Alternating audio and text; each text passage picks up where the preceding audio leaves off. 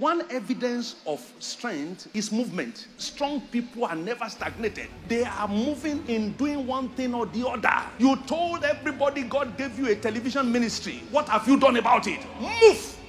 You want to build, find out how much is land. They take you to a place, they say it's 50 million. Put your hand in your pocket and tell them, I'm coming back. Don't say, I'm waiting for somebody to give us gift of land. Are you a beggar? God did not call, call you to be a beggar ministry. Go and find out. And when you get the land, go and buy blocks, go and buy cement. If it's two bags, you can buy. Buy it and put it on the ground. Buy stones and start harassing the ground that I'm coming. Strong people don't sit down. The proof of strength is movement. If you are not moving, you are weak. I'm saying this to all of us, therefore. Anything you claim God has told you, start moving towards it. You say God has called you to be an evangelist. What crusade have you held? Stop waiting for instruments. Evangelism begins with your mouth. When God sees that you have ministered to enough people that your voice cannot carry again, He will give you speaker. He will give you microphone. But go and use your mouth. You mean you can't speak to 30 people without microphone? Make a move against stagnation. Go and start doing something. If you don't move, nothing will.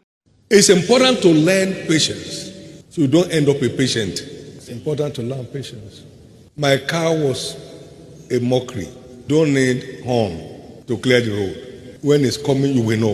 Love your life, you clear. One of my precious ones is a professor of medicine. He said to me humorously one day, he said, You know something? I said, No, I don't. He said, In those days, we quickly run out of fellowship to avoid pushing the car. it takes patience to maximize our glorious destiny in Christ. It takes patience. It takes patience. The car was a mockery then, just 12 years after. It has translated to a plane. Somebody's going somewhere here. Be happy with yourself. Be happy with God. Retain your delight in obeying Him.